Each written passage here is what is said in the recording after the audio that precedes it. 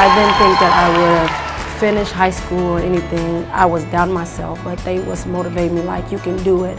And because of that, it made me push and go after it even more. I've been to eight different schools, two different states, and I've never had the support that I've had from all the staff as I did in Chicago and Ombudsman Chicago West. The teachers treated me respectfully. They cared. They asked me questions about like other stuff besides school to make sure like everything was on point.